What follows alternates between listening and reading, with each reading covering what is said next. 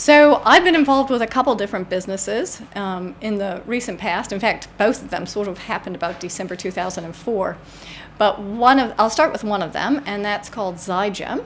And ZyGem is a spin-off particularly of original science from the University of Waikato and University of Auckland. And it involves using genes and enzymes and microbes, hence the term GEM, um, and mainly from extremophile areas. So either hot pools in Rotorua to, it, for my own contribution, it's been fungi from Antarctica. And I'm involved with ZyGem with a couple different hats. I, am both a non-executive director as well as I'm chair of the Science Advisory Board as we're really proud of because it says that University of Waikato has some very cutting edge commercial technology spin off a biotech company. This biotech company now is commercial. It's selling its products worldwide. The other one is actually something even more to home. When I was with Sandoz, I was uh, one of the inventors as well as led the technology to de develop a fungus. And I'll show you it because I plated it out. But in its native form, it's stains or it's black, just like the black in our hair.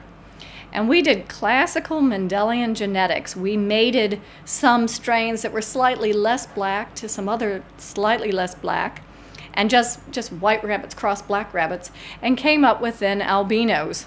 And this albino strain um, is particularly interesting on wood because it will eat away, it will metabolize, it will degrade the sticky stuff in wood, the resin extractives. At the same time, we were launching ZyGem completely independently. This technology, which is patented around the world, as I said, I was one of the inventors with, with some others, um, became available. And, and the definition of an entrepreneur is somebody who um, manages a business.